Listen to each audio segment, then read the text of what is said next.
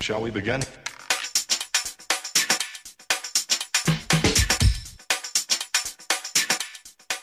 Let's begin. Hello everyone! Welcome to リノスマン TV!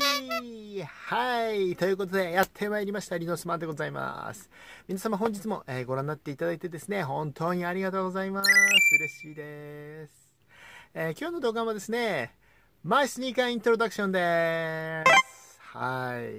えー、マイスニーカーイントロダクションと題しましてですね、えー僕が持っているスニーカーをただただ今日も紹介していきたいなと思っております。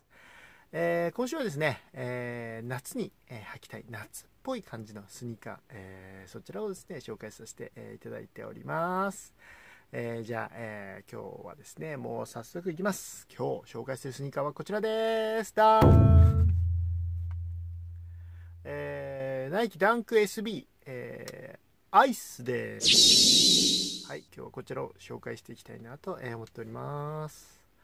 えーまあ、さっきも言ったんですけど、まあ、通称アイスというふうに言われてますよね、えーまあミントアイスというかねなんてなんて言うんですかね。ちょっとはっきりわからないですけども。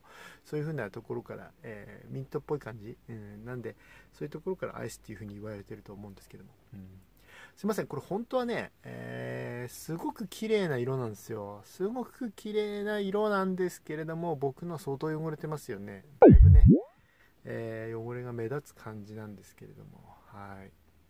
あとね、まあ名前がアイスっていうだけでね、ちょっとまあ夏にいいかなと思って紹介してるんですけども、基本ハイカット履かないっていう人も夏はまあ多いと思うんですよね。なのでね、ちょっとね、夏はどうなのそれっていう方も本当にいらっしゃると思うんですが、僕は、ね、夏でも全然、あの短パンにハイカットのスニーカーってかっこいいじゃないですか。僕は全然ハイカットを夏履きます。はい。というのもあってですね、今日はこちらにしました。はい。ダンク SB を紹介するのもこれまた久しぶりですよね。はい。SB はね、実はまだまだ紹介してないのがね、いっぱいあるんでね、えーまあこれを機にっていうわけじゃないですけども、これからもね、えーダンク SB、えーちょっとずつ、え紹介していけたらなと思っております。はい。よろしくお願いします。ちなみにこれ何年生だったかな？結構もう古くなっちゃったよな。あ、2004年だ。もうそんなに前なんですね。15年前の、えーランク SB アイス。今日こちら紹介させていただきました。はい。